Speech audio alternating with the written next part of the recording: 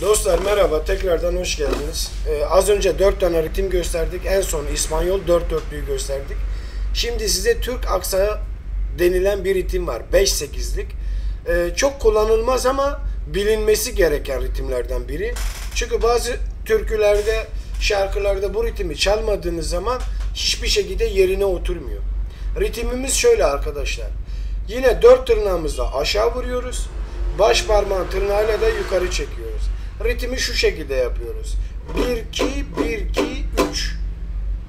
Yani aşağı yukarı aşağı yukarı yukarı. Bu biraz ters bir ritimdir. 1 2 1 2 3 1 2 1 2 3 1 2 1 2 3 1 2 3 Bunu sakın ola sakın şöyle yapmayın. Böyle Alaturka vari hiçbir şeye benzemez. Bu ritim yavaş bir ritimdir. Slow yani.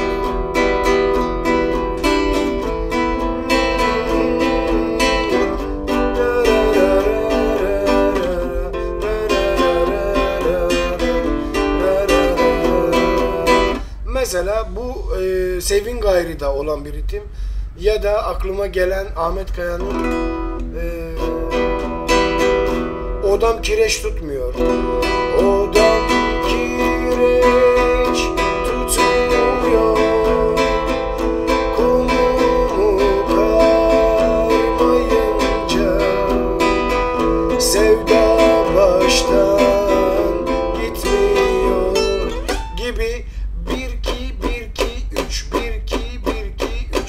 Dediğim gibi bu ritim biraz ters bir ritim. Yani 6-8'lik bir ritimimiz var. O 1 2 1 2 3 yani aşağı yukarı aşağı aşağı yukarı. Ama bu böyle bir şey değil. Bu aşağı yukarı aşağı yukarı yukarı. 1 2 1 2 3 2 1 2 3 1 2 slow çalın. Hızlı çalmaya çalışırsanız bu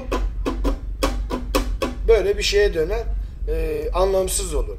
Şu.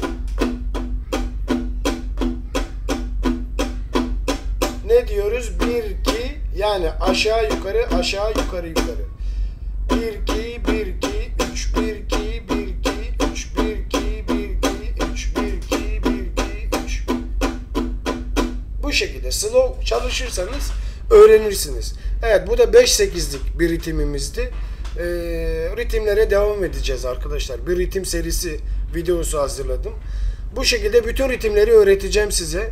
Ee, ama ben e, sadece rehberlik yapacağım. Siz çalışırsanız öğrenirsiniz. Bu ritimler e, gerçekten önemli ritimler. Yani dünyada kullanılan ritimler de var. Sadece Türkiye'de işte yani Türk aksağı dediğimiz ritimler de var. Ama bunlar çok gerekli ritimler. E, temposuna düzgün çalışın. Söyleyerek çalışın. Şarkı, türkü de söyleyebilirsiniz. İzlediğiniz için teşekkür ediyorum. Bir sonraki videoda görüşmek üzere. Kanalı beğeniyorsanız abone olup yorum yapabilirsiniz. Ee, hoşça kalın, dostça kalın, müzikle kalın.